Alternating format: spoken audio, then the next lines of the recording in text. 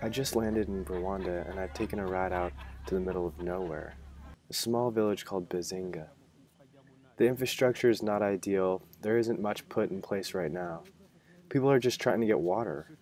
They fill up these canteens, but only the children can get the water because the hole is so small. They spend a lot of time being careful and making sure to get the best water out of the unusable. If they go too deep in the well, the water is murky, but at the brim it collects dirt.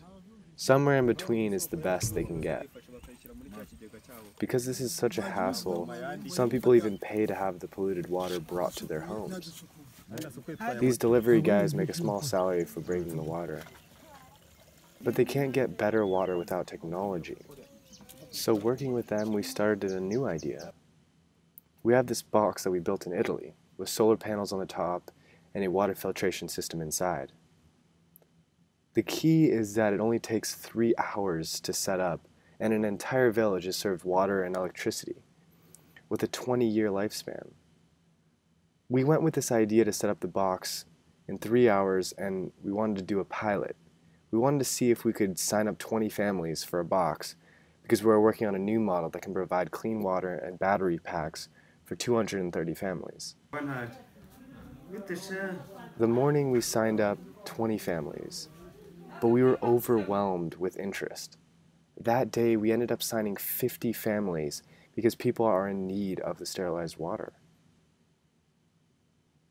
We're already teaming up with NGOs focused on women empowerment because we want to have women shopkeepers. This is our very first box keeper.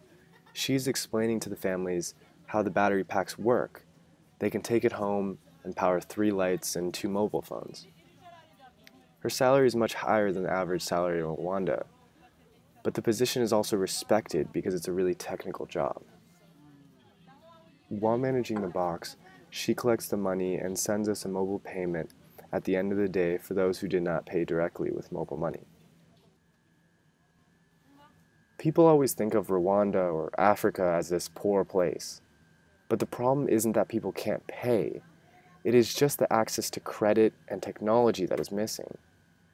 When it is properly integrated, water and power can become a reality for so many families. Now that the technology is cheap enough and we tested this pay-as-you-go system, we see that this can change the lives of so many people. So why stop now?